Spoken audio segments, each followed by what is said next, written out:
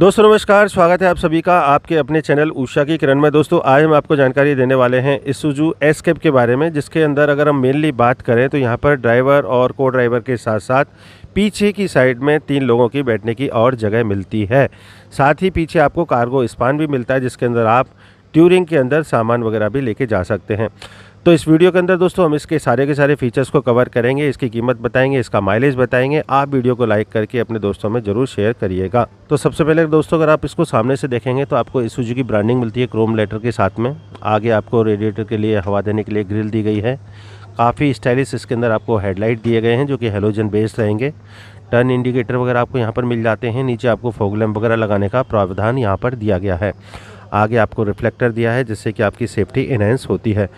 काफ़ी बड़ी इसके अंदर आपको विंडशील्ड दी गई है, इसको क्लीन करने के लिए दो वाइपर हैं।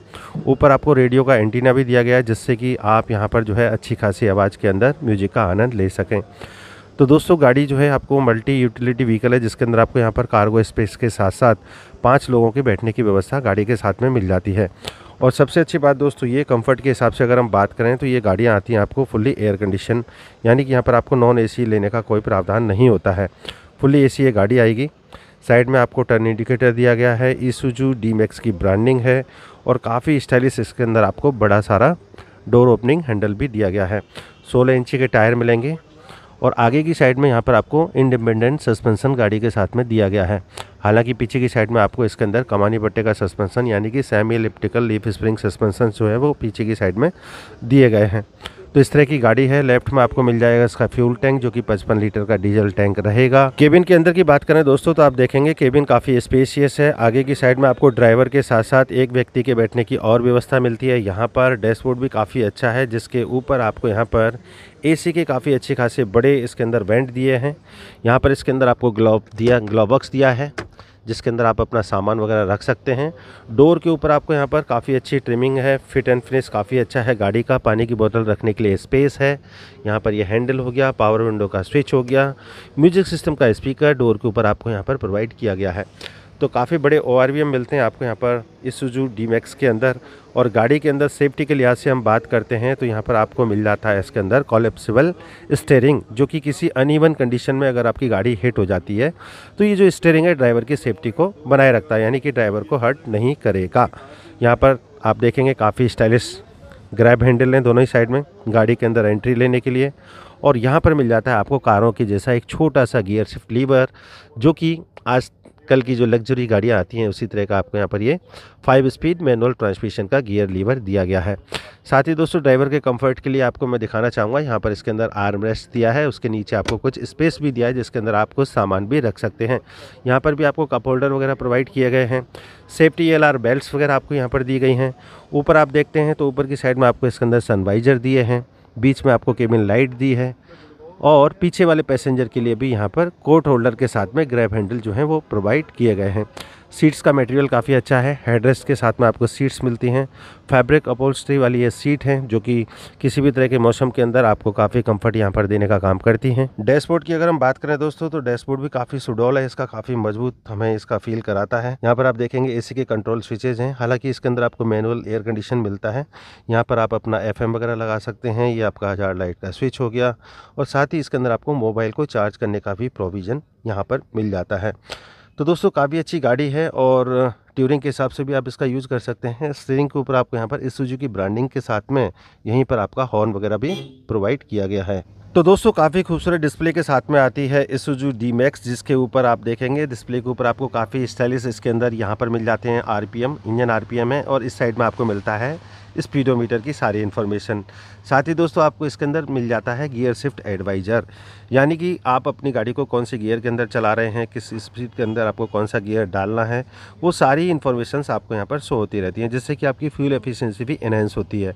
आपका डोर वगैरह खुला हुआ है, कौन सा डोर खुला है तो डोर ओपनिंग वार्निंग भी आपको यहाँ पर शो हो जाती है। तो ये जो राउंड शेप के अंदर आने वाला इसका इन्फॉर्मेशन डिस्प्ले है डिजिटल बीच में जो दिया हुआ है, गाड़ी के इन्फॉर्मेशन डिस्प्ले का लुक काफ़ी इनहेंस कर रहा है। इस साइड में आपको मिल जाते हैं इसके वाइपर के कंट्रोल वाला टॉगल और इस साइड में आपको मिलेगा इसके लाइट के कंट्रोल वाला लीवर तो दोस्तों, ये जो स्टेयरिंग आपको यहाँ पर मिलता है पावर स्टेयरिंग टिल फ़ंक्शन के साथ में, जिससे कि आप कंफर्टेबली किसी भी कदकाठी के वहाँ आप बैठ करके गाड़ी को आसानी से चला सकते हैं।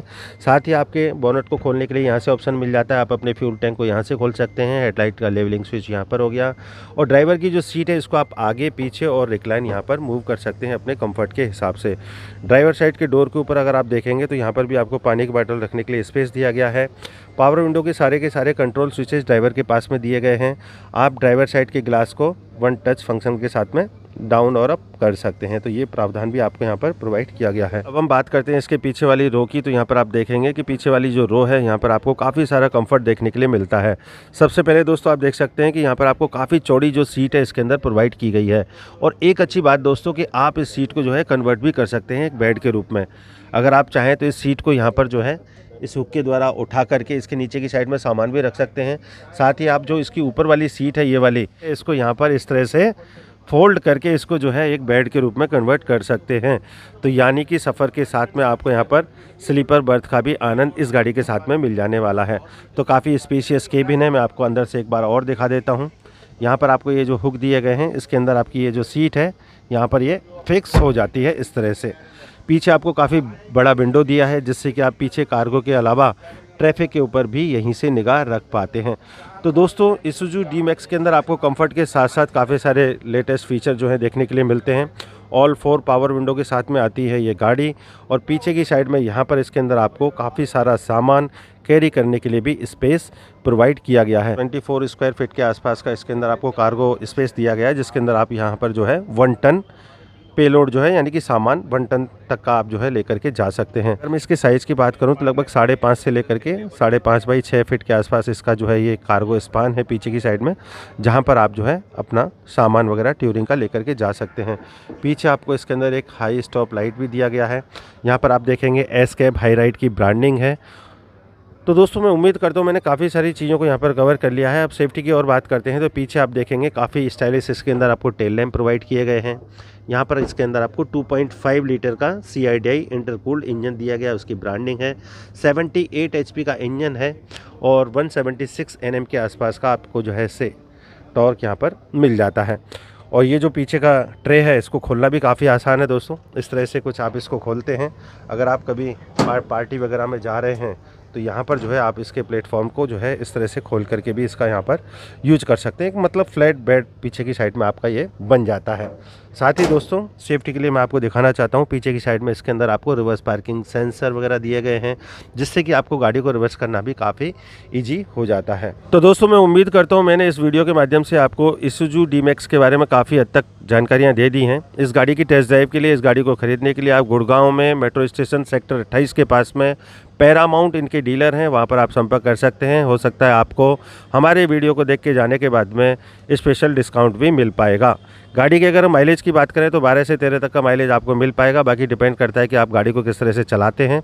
और 13 लाख रुपये के आसपास इसकी जो है कीमतें बताई गई हैं। वीडियो अगर आपको अच्छा लगा है तो इसको लाइक करें शेयर करें अपने दोस्तों में। पहली बार हमारे चैनल पर आए हों तो सब्सक्राइब करना ना भूलें। फिर मिलेंगे किसी अन्य वीडियो में। तब तक के लिए जय हिंद, जय भारत।